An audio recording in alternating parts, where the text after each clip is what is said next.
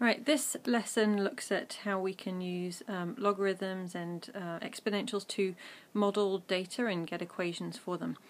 So, if we have a think about, if you had some data that looked like this, then you could see that it follows um, generally a straight line, and you would find the equation of that line to fit it, and that would be of the form y equals mx plus c. But what happens if you have a curve, if it looks something like this? You can see that there's some sort of pattern to it, but it doesn't fit y equals mx plus c. It's a curve instead. Now that curve, we'll, we're going to look at two ways that we could model them. It could either be y equals kx to the power of n, or y equals ka to the power of x. Alright, so there's two different situations where this type of curve could happen. So let's have a look at this one first y equals kx to the n. Now if we follow this through taking log of both sides and then simplifying those logs, then we get this log y equals n log x plus log k. Now that actually could be mapped onto a graph where log y would be put on the y-axis, log x would be put on the x-axis, and then n would be the gradient and log k would be a constant, so that would give us the y-intercept. In other words, it would look like y equals mx plus c. It would make a straight line.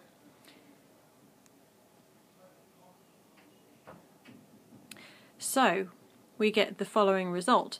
If you plot the graph of log y against log x, and you get a straight line, then that means that the relationship between x and y can be modelled with an equation that is of this form, y equals x, kx to the power of n, where n is the gradient and log k is the y-intercept of the graph that you drew for log y against log x.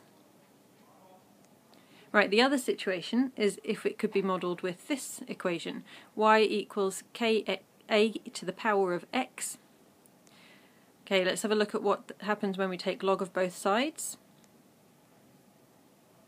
Following our log rules, we get this. And we would put log y on the y-axis. We'd put x on the x-axis. As you see, it hasn't gone to log x this time because it was in the power. Log a would be a number that gave us the gradient, and log k a number that gives us the y-intercept. They would both be constants which means that we have another thing that looks like y equals mx plus c, also a straight line. So in this situation, we've plotted the graph of log y against x, and it gave us a straight line. That then means that the relationship between x and y can be modelled by the equation of the form y equals ka to the power of x, where log a is the gradient and log k is the y-intercept of that graph that you drew that plotted log y against x. Alright, let's have a look at a summary of those then. So if log y against log x gives us a straight line, then we have y equals kx to the n as the form of our equation. n being the gradient, log k being the y-intercept.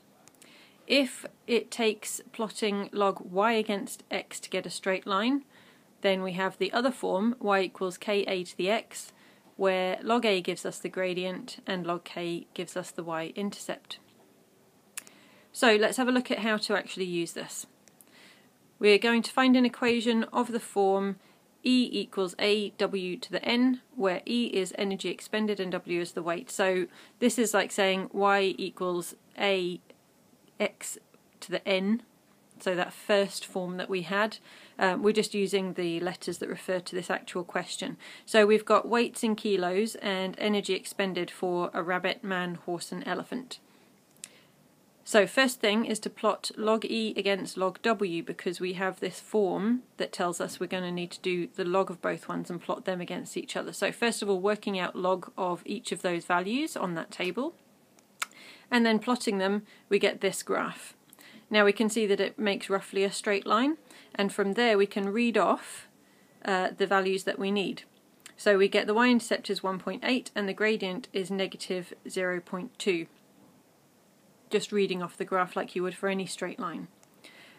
Right, from the y-intercept that gives us log k equals 1.8, so k equals 10 to the power of 1.8, which is 63. From the gradient that gives us n, equals minus 0.2. So then we put it back into that form that we know about.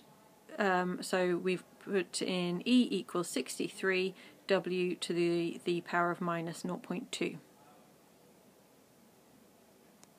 We'll have a look at an example of the other type. So this time we're told we need an equation of the form p equals ka to the t. So this time our um, variable is in the power instead of being the thing that's getting raised to a power. Um, and we're doing it for this uh, table of data here, which is population in America. Right, so first of all we need to work out the values of t because we want time since 1790 in years. And we need to work out log p so just taking log of each of those values and then plot them on a graph.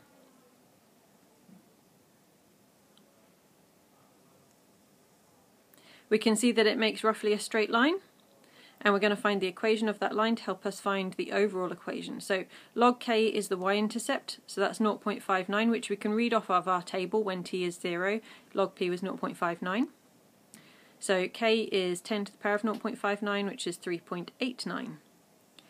Log A is the gradient. Now from our graph here we work out our gradient. We can take exact values from our table of values. So that particular one I've picked out two points there has an x change of 40 and a y change of 0.52 just from reading off those values in the table.